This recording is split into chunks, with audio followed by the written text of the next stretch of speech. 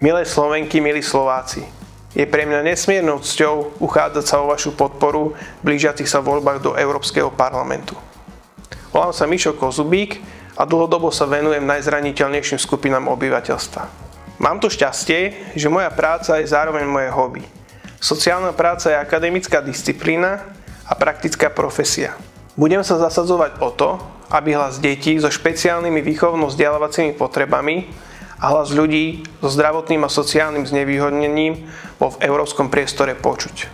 Preto príďte 25. maja voliť slobodu a solidaritu a krúžkujte mňa číslo 9 Michal Kozubík.